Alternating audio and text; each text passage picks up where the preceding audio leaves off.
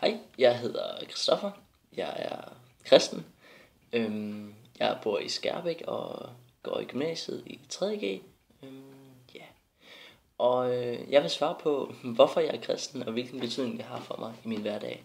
Øhm, og først så skal I lige vide, eller så vil jeg fortælle lidt om min opvækst, fordi at jeg er ikke, ikke en ny kristen. Jeg kan ikke sige, at den 13. oktober 2009 for eksempel, da, der blev jeg kristen. Da mødte jeg Jesus i mit liv, fordi at jeg er, jeg er vokset op i en, en kristen familie, hvor jeg fra barnsben har gået til juniorkreds og ja, til, i, altså i omgivelser, hvor Guds ord har været forkyndt, og kristne venner, og gået på en kristen efterskole.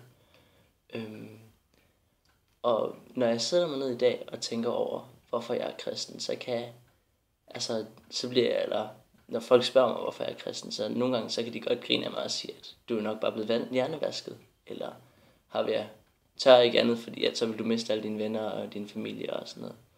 Øhm, men når jeg sætter mig ned i dag, så er det sådan en, det er en, det er en langsom overgang, det er en, en opsummering af alle de ting, Gud har gjort for mig i mit liv, der er, der er med til at sige, at, at der gør, at jeg er kristen i dag.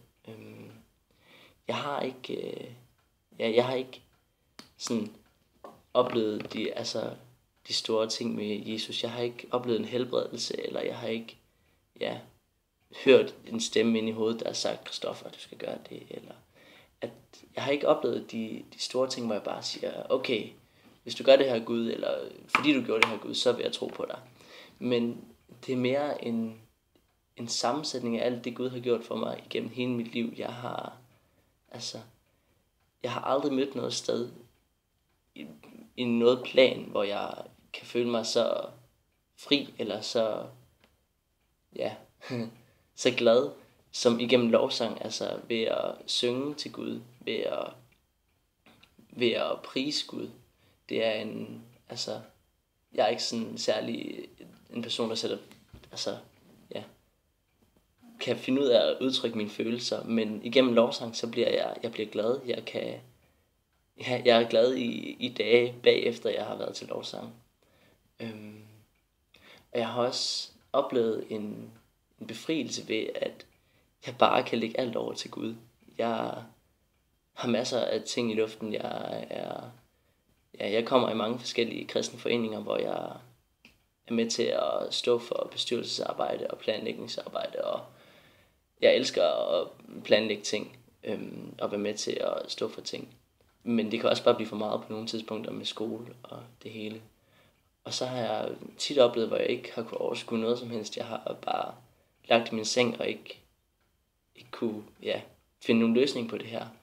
Og så har jeg, jeg har bedt til Gud, at han må, at han må hjælpe mig på den måde, at han synes, jeg skal hjælpes. Øhm, og det kan nogle gange være, at der er gået måneder eller et halvt år, før jeg er kommet til at tænke på, nå ja, der hjalp Gud mig faktisk hele vejen igennem, og jeg har kunne klare 2G uden at bryde sammen, eller jeg har kunne klare at være til bestyrelsesmøder hver aften i den her uge, og samtidig med at lave lektier.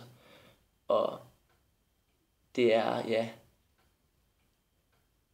det er en fantastisk følelse, at jeg bare kan lægge alting over til Gud. Det er en af grundene til, at jeg er kristen. Den anden grund til, at jeg er kristen, det er faktisk også, at, at alt i den her verden, det er ja, bundet meget op på naturvidenskab. Jeg går selv i en naturvidenskabelig klasse og er vant til, at alt skal bevises. Øhm, og det kan jeg ikke. Jeg kan ikke bevise min tro. Jeg kan ikke bevise, at, at Gud han findes. Jeg kan pege på alle de ting. Jeg kan pege på, at alt det Gud han har givet mig, det har han givet mig. Det har han givet dig, det har han givet alle. Og jeg kan, jeg kan sige til mine venner direkte, at jeg tror på Gud, fordi jeg tror på Gud. Og jeg kan øh, bede til Gud og sige, Gud, jeg tror på dig, fordi jeg tror på dig. Det er ikke fordi, at jeg, jeg behøver at bevise det over for nogen.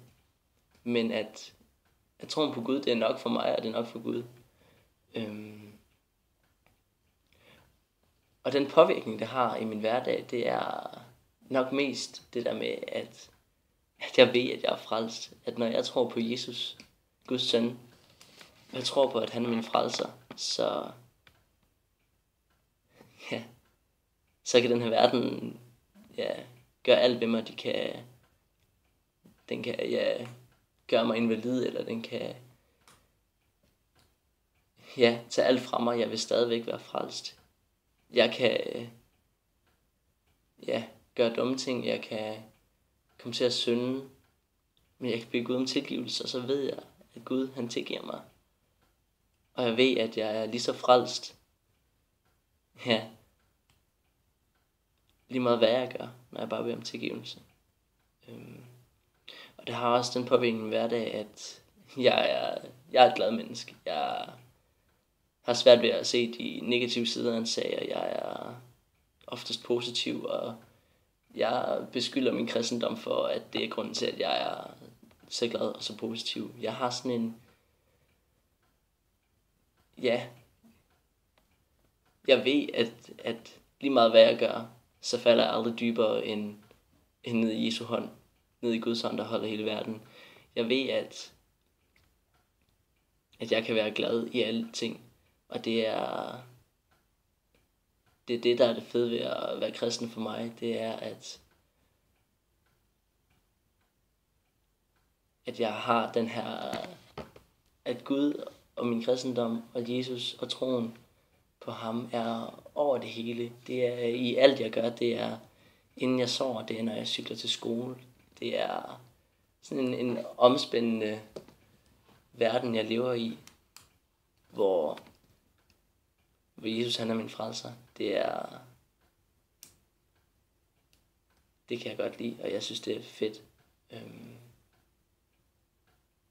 ja, det var grunden til, at jeg tror, og hvilken påvirkning det har i min hverdag. Mm.